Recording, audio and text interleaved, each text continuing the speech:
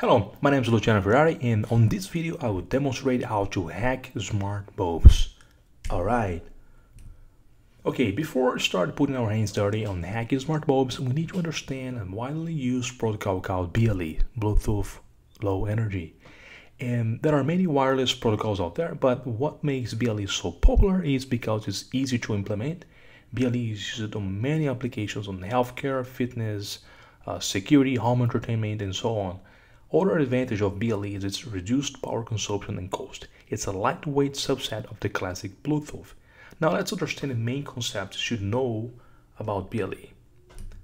Okay, the first concept is GAP. GAP is an acronym for the Generic Access Profile and it controls connections and advertising in Bluetooth. GAP is what makes your device visible to the outside world and determines how two devices can or can't interact with each other. Another important concept is GATT. That is an acronym for the generic, generic attribute profile and it defines the way that two BLE devices transfer data back and forth using concepts called services and characteristics. It makes use of a generic uh, data protocol called the Attribute Protocol, ATG, which is used to store services, characteristics, and related data in a simple lookup table using 16-bit IDs for each entry in the table. And a BLE peripheral can only be connected to one central device, like a mobile phone, at a time. As soon as a peripheral connects to a central device, it will stop advertising itself and other devices will no longer be able to see it or connect to it until the existing connection is broken. The GET transactions in BLE are based on high-level nested objects called profiles, services, and characteristics, uh, which can be seen on this picture here. Alright, now we will open my uh, Linux virtual machine and the first process an attacker would be uh, doing to identifying our device and this is done by obtaining information such as the MAC address, the Bluetooth version, and the RSSI and more. And for most cases, the BD address, the Bluetooth address, is enough to exploit the device. And this can be found using the HCI tool command. First, let's see if it's working properly. So do um, HCI config. It's running properly. Now I'll do sudo HCI tool list scan. Perfect. I'll stop here and you see that all the BLE devices around us are listed here because it's a scanning and our target device is this LED BLE so we can now copy its Bluetooth address. So I will do like this and copy. Perfect. All right.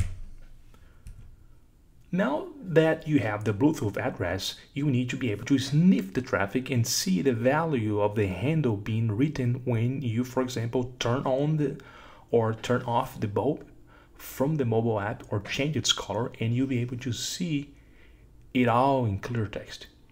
And I had already captured the BLE traffic to keep this video short and you can see the handle code and value from the picture here.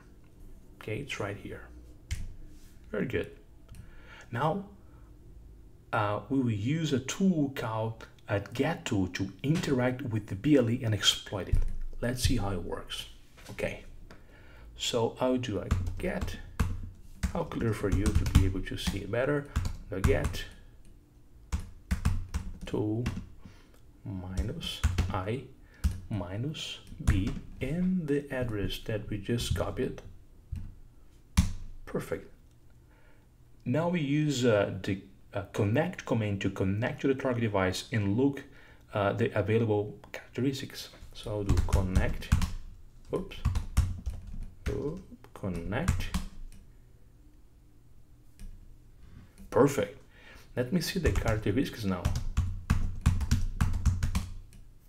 Okay, I see here, uh, if I spin here for you, um,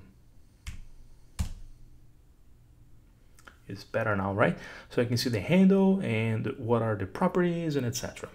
Now um, we are ready to exploit the smart bulb and write the handle with a new color using char write rec zero zero B. So all of these I got from the the traffic, uh, this sniffer. I'll put the new color will be five six. That's the code for the new color. Zero zero seven four DC zero zero. Whoops zero zero F zero AA. And bingo! My smart bulb just changed its color here. And you can now use this same concept to exploit any LED device and do even more. Thanks for watching.